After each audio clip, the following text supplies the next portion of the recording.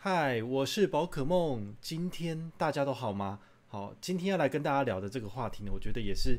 蛮有趣的。好，就是我们画面上刚刚看到这个所谓的“你的信用卡难道也需要咔嚓咔嚓断舍离吗？”好，所以我觉得呃，这是一个很有趣的一个一个概念，一个 concept，然后来套用到我们其实呃生活上所拥有的物物质的商品哈。那其实信用卡也是其中一项哦，就是你真的有需要办到这么多张的信用卡吗？好，那好像我一个人在这边讲这话，我有五百多张信用卡，好像就是比较站不住脚哈。但是我我我觉得还是可以跟大家讨论一件事情，就是说，呃，我们到底是否真的需要这么多这么多的物质或者这么多的信用卡？好，那我们今天的话就是针对这个主题来跟大家聊一聊，好吗？如果你觉得，你身边有好多好多信用卡，你也快受不了了。那我觉得你就很适合来听听这一集哦，就来聊聊说，诶，你的信用卡到底有没有什么方法，就是可以降低好，或者是用怎样的标准，然后来做选卡，好，这对你将来在管理自己的信用卡，其实都会有很大的帮助。好，这样子，所以我们就往下走喽。好，来，本期影片我们要探讨的主题有三个。好，第一个就是到底什么是断舍离？好，常常听到这样的名字，这样子的一个名词，但是。它到底是什么意思呢？好，我们今天呢会跟大家聊聊。好，那再来第二个就是，你身边有多少张的信用卡？是否需要剪断几几张呢？好，就是断舍离嘛，是不是应该断一断呢？好，这个是非常有趣的一个议题。然后第三的话就是说，诶，如果你想要有一个比较舒适的生活，一个极简的生活，那么你是不是就只需要搭配一张极简的信用卡就好了？那到底哪一张信用卡是适合你的？好，我们也会在最后的地方，就是跟大家简单探讨几个选卡的标准。也许对你来说，选出一张你心目中的这个神卡，好，就不是想象中那么困难一件事情。好，也希望今天的这个讨论的内容能够对大家都会有一些启发，这样子。所以，我们进入我们的主题了。好，第一个就是到底断舍离的定义是什么？好，你是不是常常就是在购物的时候就陷入一些就是呃下面的种种心结啊？就是，看到喜欢的东西不小心手滑就买了。好，那再来就是我经过了挣扎，然后最后我决定我还是买了。好，那第三个就是说，哎，不管三千二十一，反正有便宜就先捡起来放就好了。哈，如果你很常在消费购物的时候遇到这样子的一个心态，我觉得你很可能就是。中了这个商人这个所谓的广告的陷阱，好，就是据统计啊，我们平均早上睁开眼睛到我们晚上睡觉之前，我们眼睛会一扫而视的所有的广告至少加起来有五千个。好，你可以想象说，你只要就是在走在路上，你迎面而来的那些广告，或者是呃，在你在走在路上旁边那些电视墙所播放的广告，你停下机车在那边看的。好，你在划手机，你搭捷运的时候，你看到的任何的那个所谓的车厢的广告，这些东西都会时时刻刻的影响你的消费决策哦。对，所以这就是很恐怖的一个地方哦。所以如果你自己很长，就是在消费的时候遇到一些举棋不定，或者是没有办法定下心来去决定说这个东西是不是真的适合自己，那你很明显的就是动了现代社会广告跟消费主义的荼毒啊。对啊，所以。我我觉得这绝对不是说，呃，我们自己一个人的问题，是所有的人都面对这样的问题，因为现在就是一个所谓的消费主义的时代，所以，呃，我们如果都没有自觉的去，呃，理解这个所谓的，呃，外面的厂商或是广告所一直投放给我们的这些东西，当它进去我们的潜意识之后，它其实就会左右我们的消费啊，所以断舍离这件事情对于现代人来讲，其实是非常非常困难的一件事情哦，对，那。刚好我也有，就是我的家人哈，我姐姐，我亲姐姐，她自己本身现在也在研究一些断舍离的东西。我是希望将来有机会可以邀请她来，就是我们的频道或者是我的直播上面，请他来跟大家分享一下他自己的一些断舍离的一些心得，因为他有花钱去上课哦。你会觉得说，哇，这东西居然已经变成是一门学问了哈！当然是一门学问啊。我也可以跟大家简单的分享一下，就是像我家里面可能宝可梦东西，你看没有很多哈，那。但是事实上，我们家里面的这个一脉相承的个基因，就是说，像我爸爸他自己本身就是很喜欢囤积东西。我也不知道这是一个怎样的病还是怎么样，就是他就是呃有时候就喜欢乱买东西，然后那些东西放在家里面放久了就会呃囤积起来。好，那很可能就是一个仓库、两个仓库这样子，然后都放了他的东西。那你要去动他的东西，好。他会生气哦。好像之前过年的时候，我们不是家里面都要大扫除嘛，然后我就是跟我姐姐有时候就是，哎，这东西看起来好像没有什么用，我们就全部把它扫扫扫到外面去。好，那在等那个垃圾车过来清的时候，哎，有时候人家觉得这东西可能有点价值，然后就就把它摸走了。好，因为你放在外面就等于是垃圾了嘛。好，那我爸爸他后来知道这件事情之后，他就超生气，然后就逼我们去把外面那个我们扫出去的东西全部都把它拿回来。那他后来发现说，哎，这怎么有一些东西不见了？哦，就是被他摸走了。好，所以他就非常非常的生气。然后我们那一年的那个年夜饭，大家就吃的非常的难过，因为我爸就是不开心。好，所以我觉得这就是。应该是说，很多人的家庭也许都会有这样的问题哦。可能每个人的问题的严重性深浅不一，但是我觉得我爸爸其实这个问题还蛮严重，就是他有这个很喜欢囤积这个物品的一个特性哦。那我是还好，我我比较不会这么夸张哈。但是呢，其实从我爸爸的例子里面，我就会发现说，其实这个断舍离这件事情，是对于我们一般人来讲，其实都是会 怎么讲？你这是你心里面的一个问题哦，就是。我们比如说我在台北生活，我租的一个房子就这么大，那我有必要一直买东西，一直囤，一直囤吗？那这样的话，我的生活空间不是一直被压缩到了吗？所以，我们应该要更加呃理解断舍离这样的概念，然后把它应用在我们的生活的各个层面，才能够让我们就是生活上你可以更加亲近、更加清楚明了的自己。好，你到底想要的是什么东西？哦，才不会为了说哦，广告东西一轰炸你，你就觉得说啊，现在是六一八号，我就是购物节，我一定要买个东西哈，我这样心里面才过得去。或者是一一一好，单身情人节就是怎么样，这个单身网购节就是一定要买。好，这其实很多时候你都是会被商人给洗脑，就是说他就是跟你讲说现在就是有便宜，你就是要买。但事实上那些钱，如果你把它投资到市场上面去，也许你可以收的利息都比这还多呢。好，你就不见得一定要把它花掉，好，就是这个样子。好，下面第一个就是说，呃，断舍离的定义其实就是你只需要拥有你必要的事物的态度就好了。那我其实也可以跟大家聊聊，就是说，其实像我自己现在，我已经不会花太多钱在买一些我自己觉得不需要的东西上面。哈，其实很简单的原因是因为我的钱，我的生活基本开销其实就那些而已。那剩下的我多赚的钱，我只要存下来，投到市场里面去，它就可以。照着这个复利的法则帮我去滚出我的财富，好，所以我等于不是说用我自己本身辛苦赚的钱，在这个所谓的累积我的退休金，而是运用我的资本，好，就是已经投资到市场上面的这些钱呢，好，不管你是股票、基金或者 ETF，它都是用我的资本的这个所谓的模式在做这个所谓的复利。好，这个跟我们一般辛苦赚钱、辛苦存一点、辛苦存一点，这是有显著上的差异。好，你要很大量的把你的钱好放到市场上面去，然后由它为你滚出六到十趴的复利，每年一直这样子滚下去，你的钱才有可能会成长。好，所以就是这个样子。好，所以我觉得对我来说，我如我可以实行断舍离，我可以实行断舍离的原因是因为我的生活开销其实就大概是这样子，甚至。呃，银行它有时候会给我一些刷卡金或是红利点数，我把这些东西拿来兑换我自己生活上有需要的东西。好，其实我就不用再付出任何一毛钱，我只要靠这些礼券、红利点数或是刷卡金，我就可以支应我生活中的所需，甚至我家人我也可以帮他们做支应。好，所以大家其实可以省下更多的现金，并且把它放到市场上面去做投资，所以我们这个家族才有可能更快的去脱离这个所谓的贫穷。这个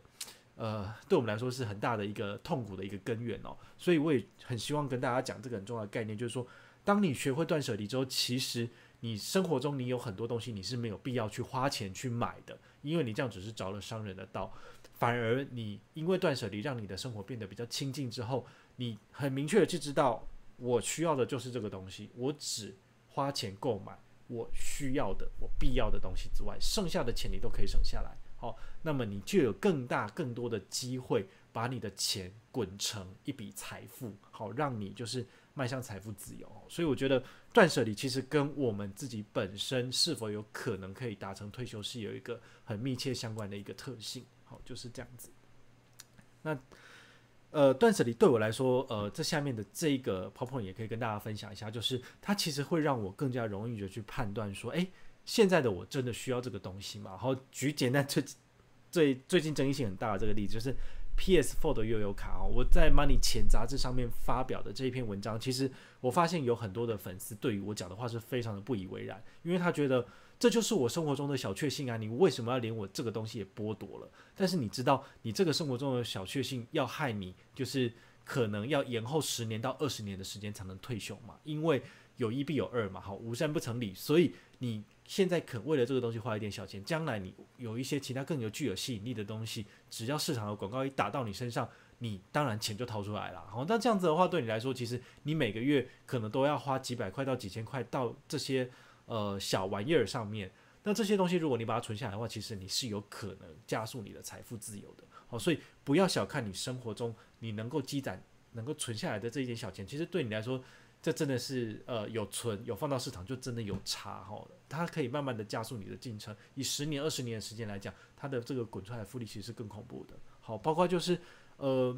大家会发现说，其实我早期的时候很喜欢分享一些省钱的资讯，或者是说，诶，现在有什么好康，几趴几趴加几趴全部 combo 起来，好厉害这个东西。但是你们会发现这一两年，我可能好像慢慢的越来越不太分享。那有时候是讲说啊，既然大家都在讲，我也是跟大家提一下好了。但是我在我的贴文的最下面一定会讲说，呃，这个东西的话，就是有需要的人再去用就好了，你不需要你就不要花钱去买，我都会做这些。比较明明确的提示的原因，就是说，事实上我介绍了这么多的呃优惠活动，比如说每个月十七号的家乐福的十七趴，再加上三趴导购这个所谓的二十趴的这个回馈，好打八折，非常的吸引人。你可能再加上一些家乐福所提供的这所谓的折价券，你还可以就是再拿十趴回馈，就再打七折，哦，很厉害很厉害。但是问题是，你真的有需要吗？或者是说现在真的很便宜，没有错，但是你买的那一堆东西。到你家里面来，是不是也是需要花你每个月房租的成本？好，因为你缴出去的租金就是租到这么大的一个空间嘛。那你如果越囤越多东西，那其实你自己的生活的范围就越来越狭小哦。这难道不也是一种成本吗？好，所以我觉得大家其实适量就好。就算它的优惠再怎么好，如果你真的不需要买，你就不用为了就是有这个优惠而去要去赚这个优，因为我们很容易就会陷入这个。银行跟信用卡公司他们自己在设计的这所谓的消费陷阱，好，所以当我们往财富管理或者是所谓的财富自由的方向走的时候，你就要更加明确的去理解说，哦，我们不要再被这些所谓的广告或者是这些银行所玩的销售伎俩给骗了，哈，因为你刷越多，其实你消费就是越多，好，你消费虽然说能够省钱没有问题，但是如果这是不必要的消费，你省下来的钱。也是浪费了哈，所以我觉得这是很重要的一点哈，所以也是提供给大家参考，就是 PS4 悠游卡你真的需要买吗？好，你想清楚，如果你需要的话，是不是随便一张便宜的悠游卡就可以了？甚至你不花钱办一张信用卡，也有免费的悠游联名卡可以使用。那每月十七号的家乐福的二十趴消费活动，你真的有必要参加吗？好，这东西就是你去思考一下，如果你是为了买而买，那你其实是存不了钱的。好，所以这就是断舍离要带给我们的一些。我觉得是很重要的一些所谓的思考的方向哦，这也是要提供给大家参考的。那再来的话呢，呃，最后最后的这个断舍离这部分，就是说，哦，你经历了这些东西去呃掏洗，去呃面对自我，然后去思考说，诶，到底什么东西真正的对我来说是真正重要的？那么你久而久之之后，你就会发现，诶，其实对你来说最重要的东西，它就会自然而然的出现在你的生活当中哦。所以我觉得，呃，对我来说。跟家人的相处是很重要的一件事情，所以我现在周末我都会花一点时间陪我的呃在台北的家人，我姐姐、姐夫，然后还有就是侄女，就是诶花一些时间吃饭聊天，然后去聊聊本周大家就是诶生活上有没有什么一些新的有趣的事情分享，或者是我读书心得，我很喜欢跟我姐姐聊一些我最近这个礼拜又读了多少书，然后她也会跟我分享她在书里面看到，然后我们会彼此互相借书这样子。好，所以我觉得这就是一个很棒的一个所谓情感上的交流，因为我们是让我们彼此不断的成长。好，所以大家也去思考一下，你平常如果跟你的家人相处的话，你们会互相聊一下读书心得吗？这可能有点难，但是我觉得这是一个大家可以值得去努力的方向。好，因为这个就是就是你要有有可以跟你一起讨论的人，你这样才有可能成长。哦，所以这个对我来说，现在经经历过断舍离的这个所谓的思考之后。比较重要的事情就是我跟家人相处，然后花一点时间陪我的小侄女，其实我自己也觉得很开心，然后就是玩一下，然后跟陪她玩一下这样子，其实她的笑得乐不可支，我甚至觉得她可能才是我的小天使，然后是来陪伴宝可梦这个所谓的 孤独老人这样子哦，所以我觉得大家可以去思考一下断舍离哈。然后生活中有没有什么东西是你不必要，就把它做舍弃？那么也许你的生活才可以因为这个定义而找到更完整的，就是所谓的生命的意义吧。那接下来回到我们的第二个重点，就是诶，我们是信用卡布洛克，我们要来聊聊信用卡哈。你身边有多少的信用卡？那你是否需要就是断舍离断一断呢？好，那在我当然在我的立场上面，我来讲真的是非常非常没有说服力，因为我身边就是五百张信用卡哈。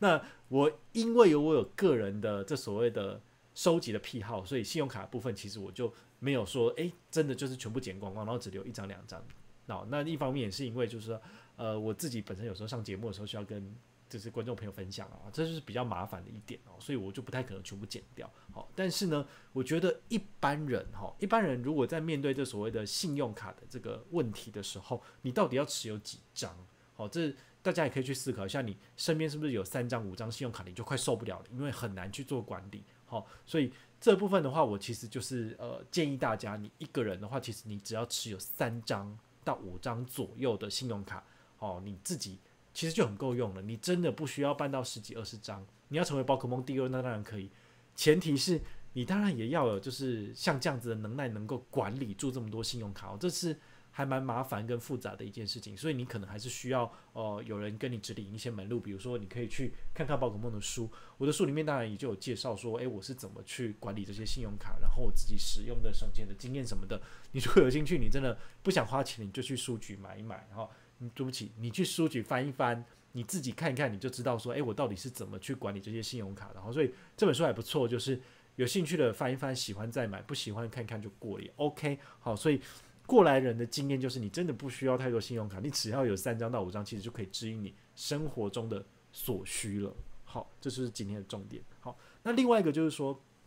不止一般的所谓的现金回馈卡，或者说红利点数卡，甚至连你的里程卡也要进行断舍离。好，为什么？因为其实呃，常常在看我的文章或者是看我们影片的朋友就知道说，呃，我们的这个所谓的里程卡是要缴交年费的哈，所以它其实是有一个很凝重的成本，就是压在身上哦。其实早期的信用卡哦，在台湾的话，呃，十几年前刚发行的花旗卡，这都是要缴年费的。然后只是说后来竞争越来越激烈，所以很多的信用卡都是免年费。然后从原本的普卡、白金卡到现在的预习卡，然后钛金卡满街跑，好，然后可能现在就是世界卡、无限卡。就是随便办都办得下来这样子哦，所以我觉得当然呃，银行最近的这个整个趋势的改变，好会影响到我们要不要缴交年费，好，但是现在就是说一般的信用卡都不太需要缴年费了，唯一的例外就是里程卡或是顶级卡都是需要缴交年费的，好，所以这部分的话，我觉得大家就要去思考说，哦，你办了一张里程卡，你缴了年费之后，你是否能够把这些回馈拿回来？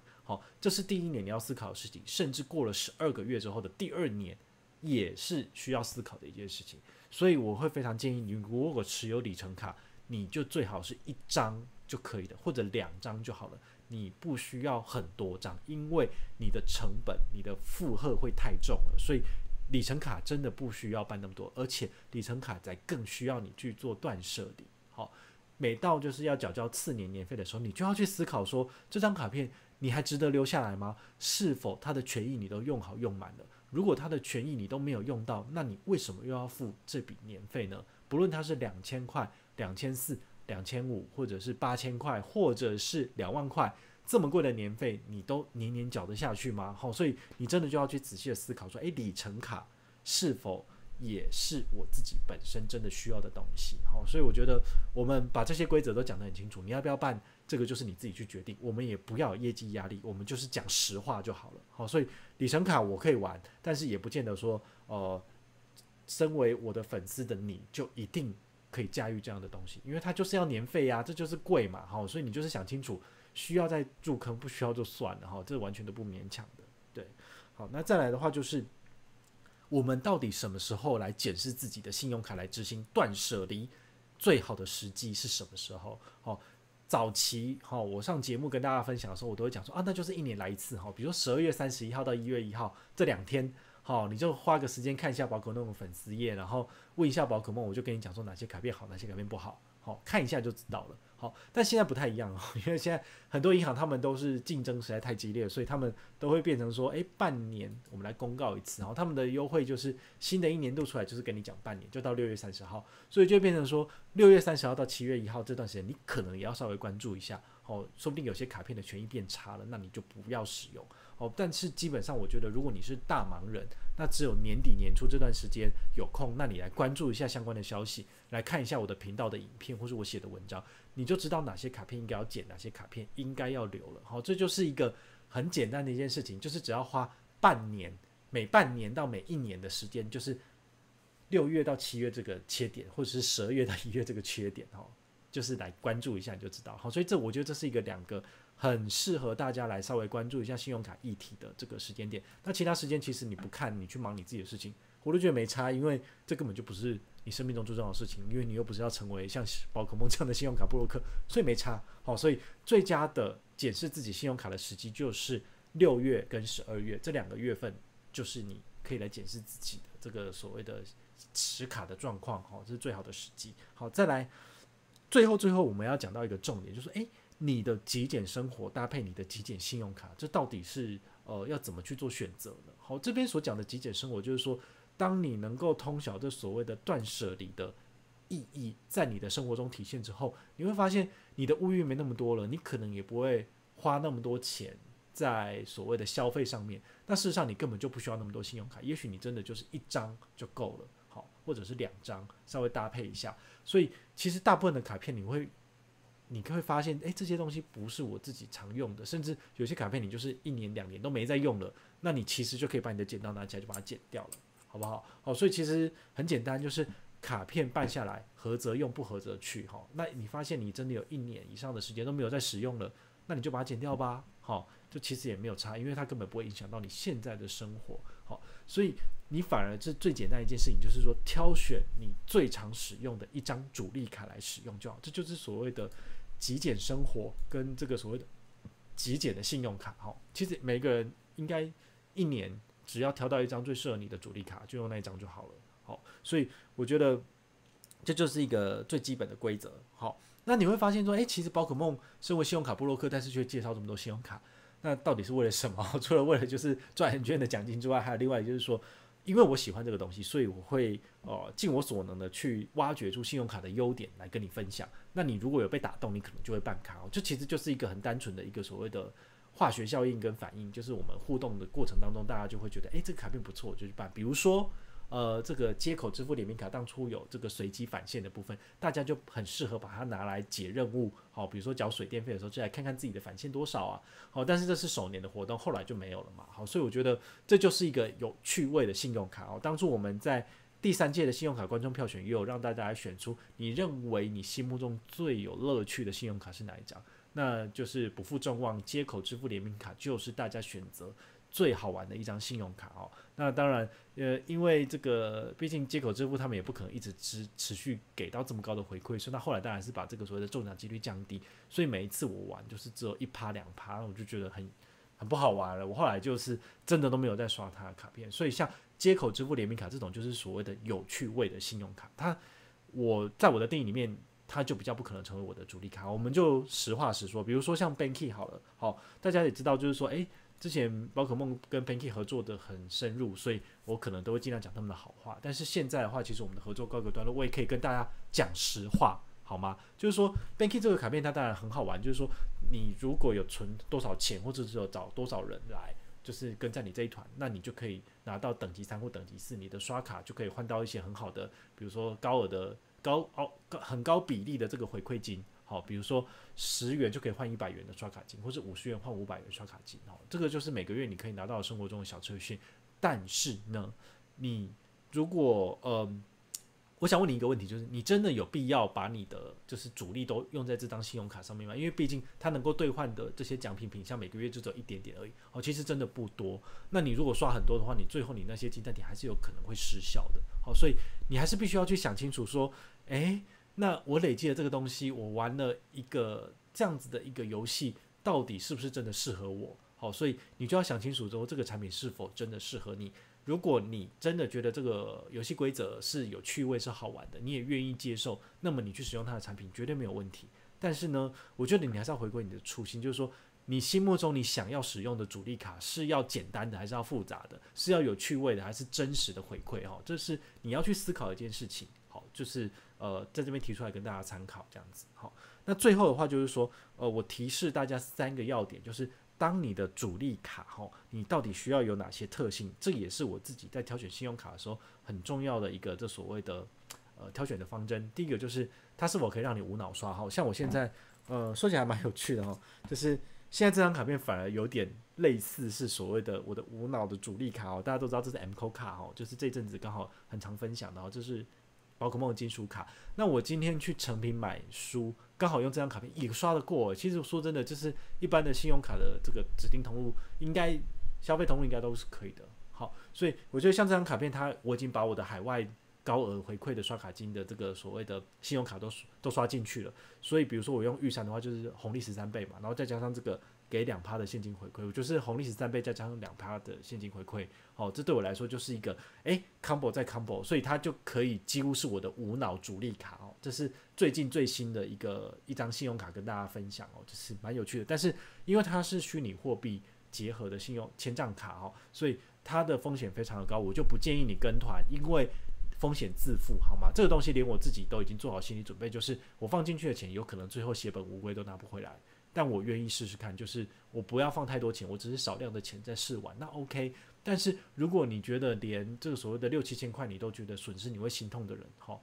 那你就不要玩，好。我觉得这就是一个很诚心的一个建议，好。所以我们不是什么东西都推，然后你就什么都一定要跟团，而是去判断你自己本身的这个消费属性是否能够承受这所谓的风险性，好，风险高的东西我们就不推，那我们就纯分享，啊，你自己就看看过就好，这我们都完全不勉强的。对，好，所以这就是说，大家在挑选自己的主力卡的话，是不是够无脑？好像这个回馈我就觉得很无脑啊。好，回馈高也是无脑刷。好，它没有天花板上限，你放多少钱进去里面你就可以刷。其实很多的信用卡也都有这样子的这个所谓的特性，比如说永丰大户现金回馈预习卡，哦，或者是联邦耐点卡、玉山拍钱包信用卡都有这样子的优势。那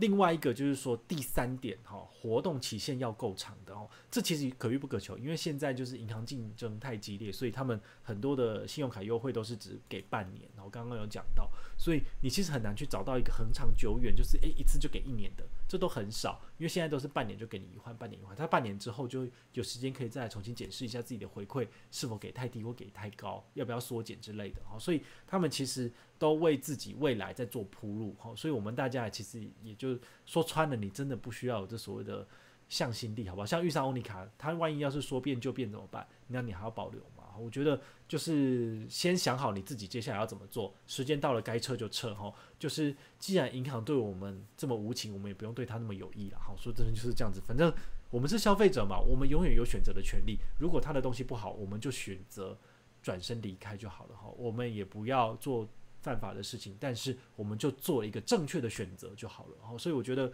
今天的这个主题，我觉得蛮有意义的，就是跟大家分享我自己的一些断舍离的概念，然后应用到我的生活上，跟应用到信用卡上面。哦，大家到底有什么方式可以做一个信用卡的选择？哦，其实是可以让大家有一个呃思考的，在你就是这支影片看完之后，晚上夜深人静的时候去想一想，我到底想要的是怎样的生活。我到底想要的是怎样的信用卡？我有办法过我想要的生活吗？好，我希望你在看完这支影片之后，你有这些想法可以并发出来。也许你隔天早上起床之后，你就会有不一样的行为产生。也许你就觉得说，诶，我身上有了四十张信用卡，根本都是屁，我留一张就好，其他全部剪光光。好，那你的生活也许就会更亲近，好，更加的顺应自然。好，也许你就可以过得更开心，好，过得更快乐。的生活，这是就是希望今天这支影片能够带给大家的一些思考了，好不好？好，如果你觉得今天这支影片对你来说有帮助的话，欢迎你就是订阅宝可梦频道哈，下面按一下订阅，好，小铃铛记得开起来，这样子有最新的一些理财或者是信用卡相关的评论，